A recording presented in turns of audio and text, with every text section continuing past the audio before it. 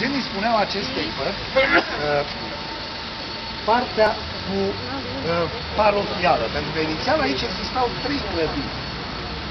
Cea din mijloc, adică din mijloc, din lateral, cu dreapta, la prima clădire. Ulterior s-au construit celelalte În anii 799 s-au construit. Și veți vedea acolo și o altă dată, în anii 773, care arată uh, vizita uh, lui Iosif al II-lea, viitorul împărat, în Cluj, și aici sunt pus așa, în uh, această casă uh, parochială. Ulterior, o să vedem o altă instituție, tot al Sfântului Mihail, este data când tot acest conflict s-a unit. Uh, Este foarte vechi, să vă spun o treabă inedită și hilară, în perioada comunistă, aici existau în beciuri, erau și slujitorii bisericii, dar în celelalte beci erau slujitorii securității, care, bineînțeles, se ocupau cu alte treburi. Cafeaua și o beau împreună, aveau loc împreună. De aceea se rugau pentru sufletele ălora care îi bătea dincolo pe el. În fine, dar asta e o treabă reală. Este hilară, dar s-a întâmplat acest lucru.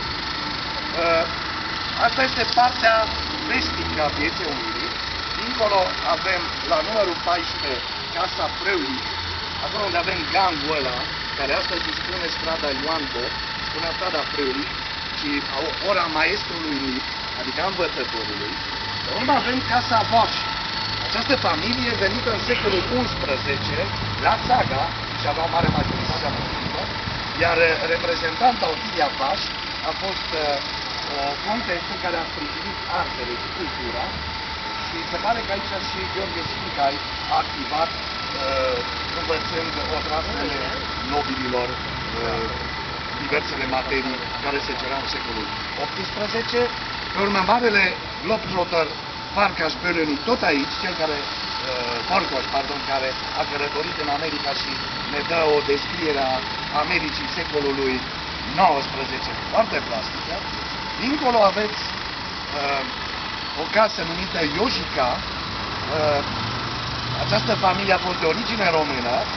Ulterior, v-am spus că în perioada respectivă a Evului Mediu conta confesiunea și starea socială. Sigur, familia Iojica era de linie maghiară, urmașii, contiznă vecină. Uh, primul etaj a fost făcut de comitele Iojica, iar al doilea etaj, 1828, de un alt reprezentant al familiei Iojica, care era prefectul uh, Clujului.